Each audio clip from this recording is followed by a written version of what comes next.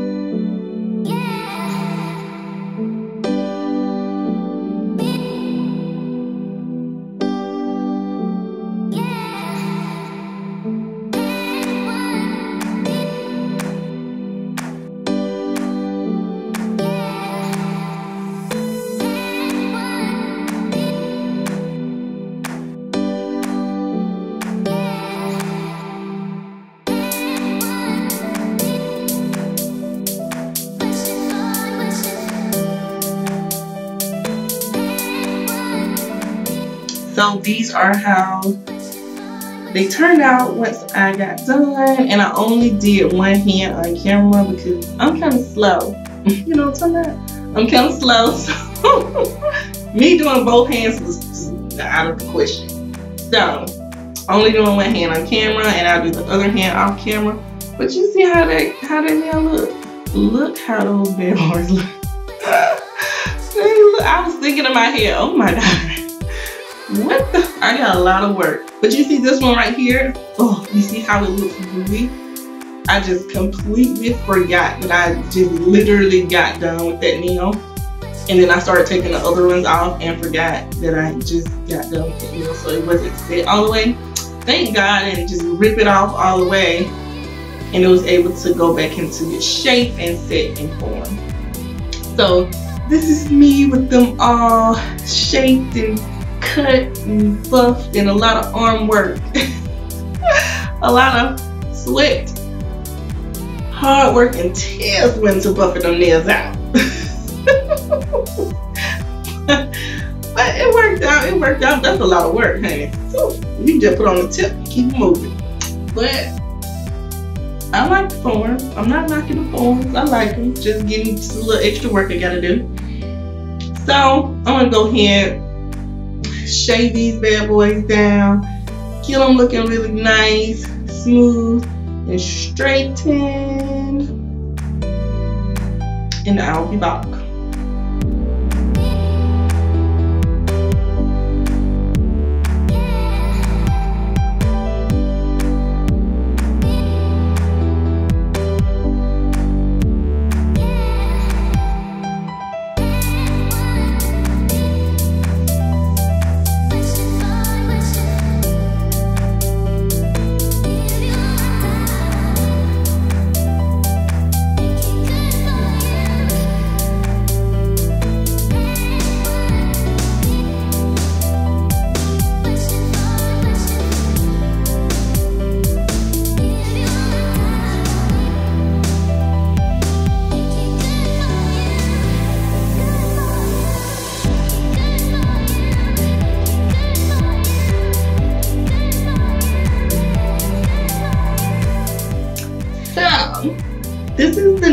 The day. I did not finish like doing this video the same night because I was tired. But as you can see, I, a girl just couldn't do it. I could not do it. I went ahead and did the other hand with tips. I went ahead and did it with tips because I just could not. Like, it is, it was so much work trying to get those right with my dominant hand. Trying to do that with my non-dominant hand was just not gonna work. So I have one hand clear, one hand with tips on it. And I also decided to use this green Kiss gel polish that I got from the dollar store. I absolutely love these polishes. Like this Kiss gel polish line is banging. Y'all ain't tried this polish. Try this polish.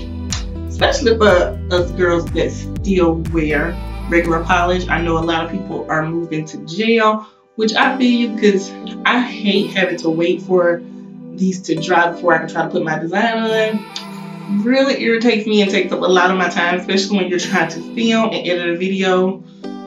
It's taking too long.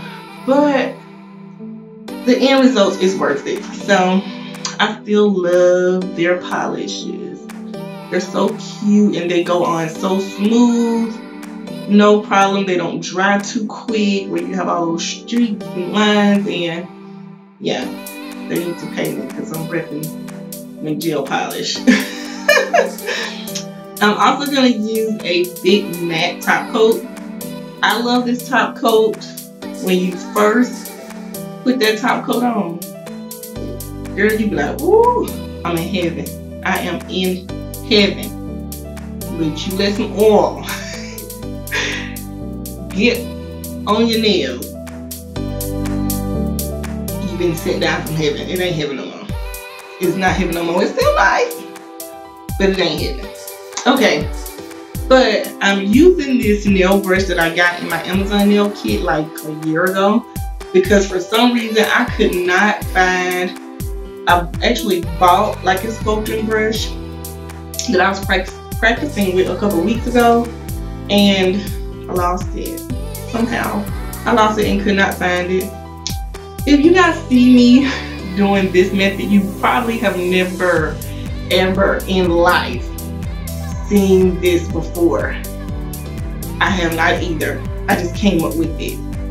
But what I didn't want was to try to put, I'm using white acrylic by Nail Secret.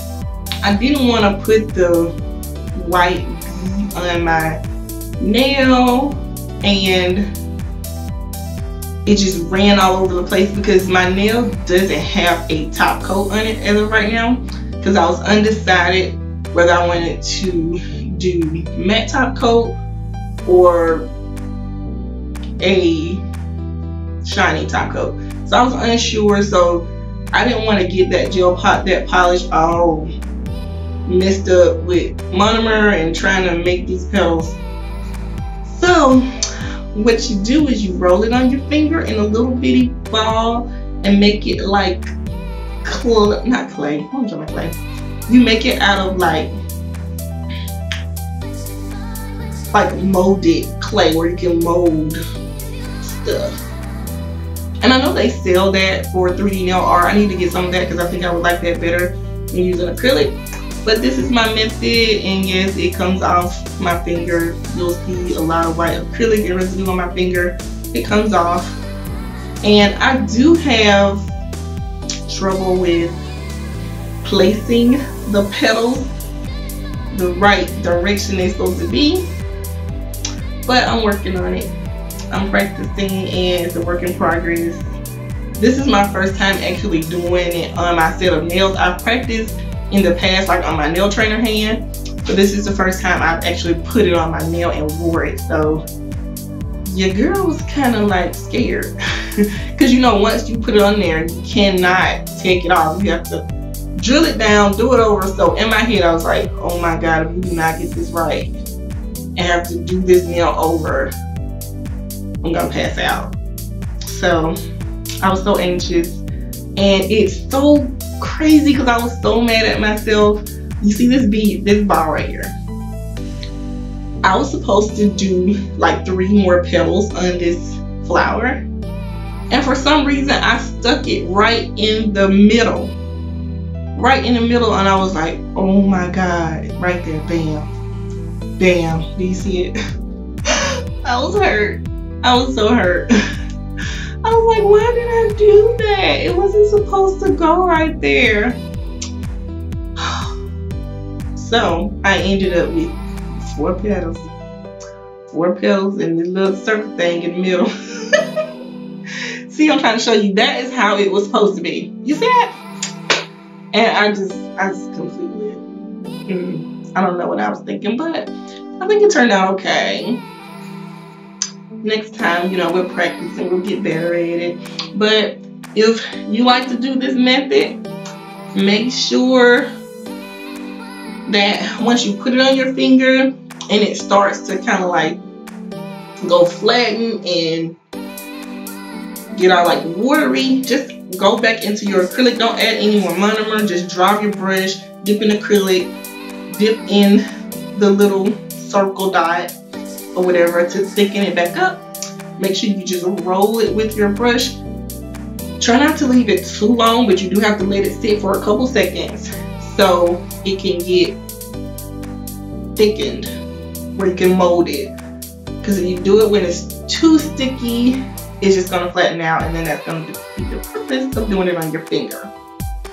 So, yeah. So I could come up with like a couple of mistakes I did with doing these flowers. Like this one, I feel like I had the flower a little too further down than I wanted. But hey, it worked out. It worked out. If you guys have any tips or pointers or anything where you can help me with how to do 3D roses, or if you've ever used the 3D molding clay. I think that's what it's called. Um, leave the link in a comment so I can go and check them out and get some of it because I would love to use that instead of acrylic.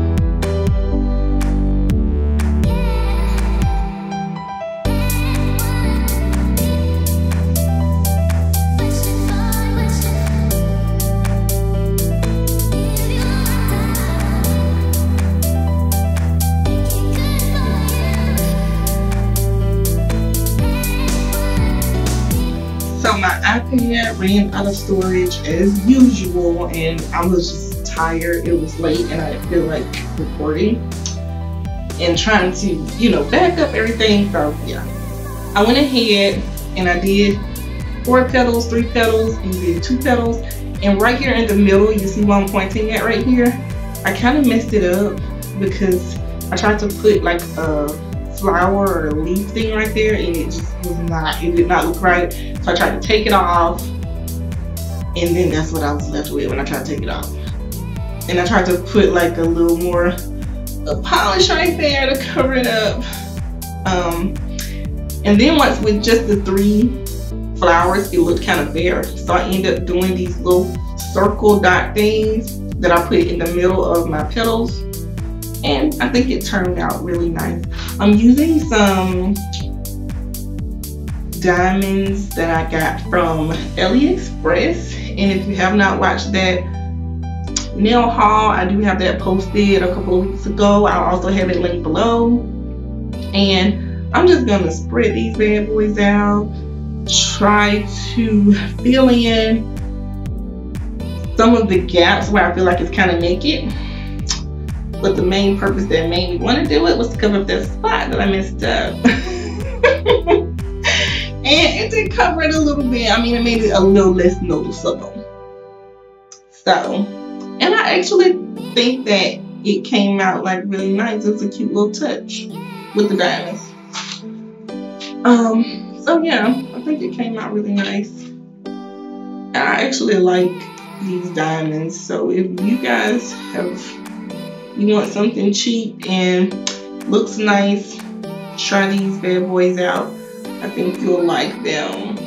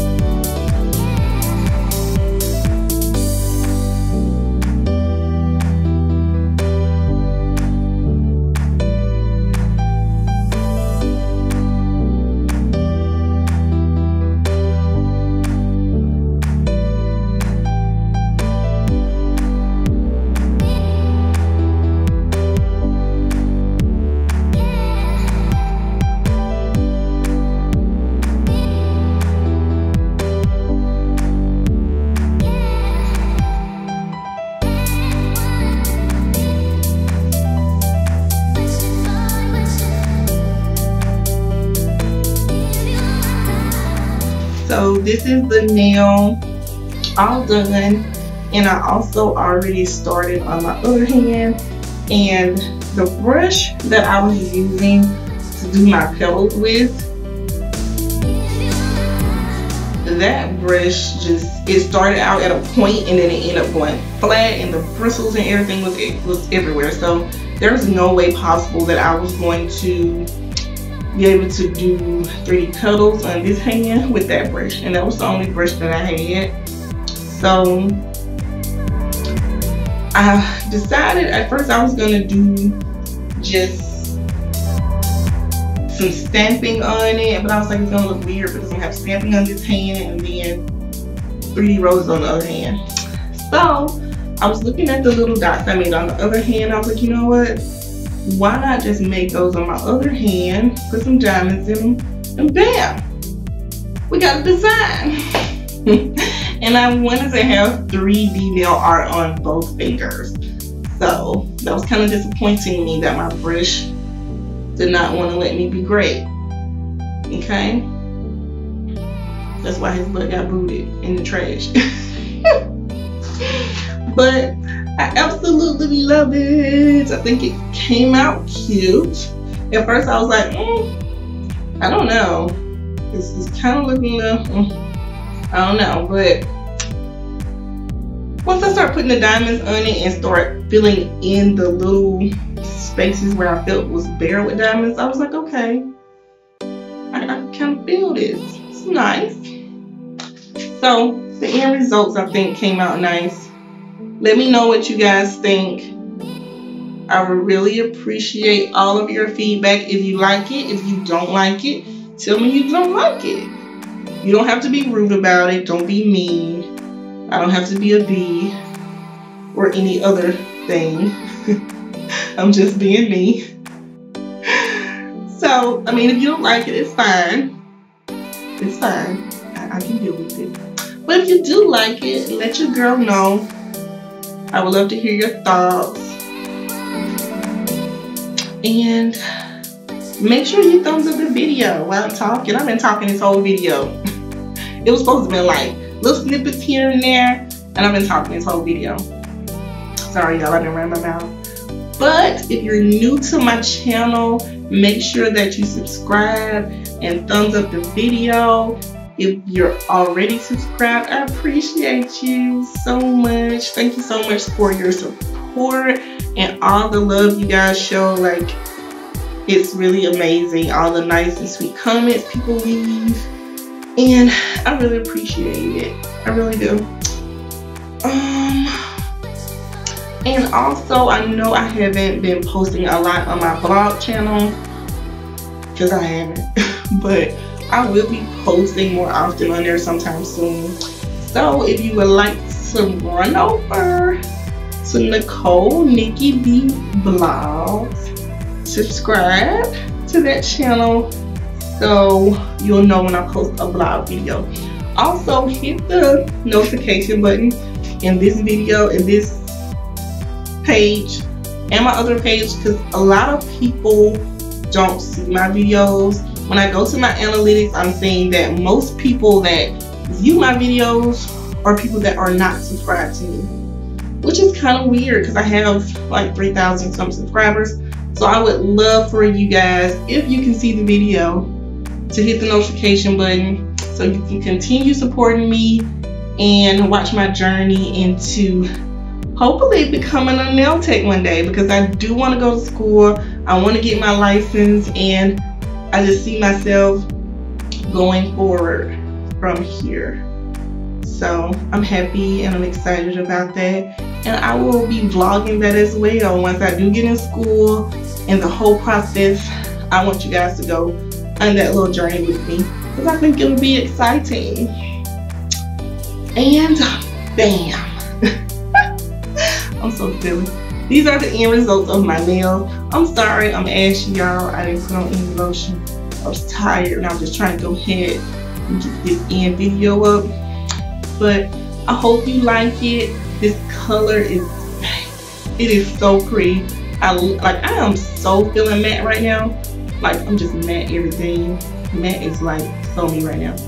This color is so pretty.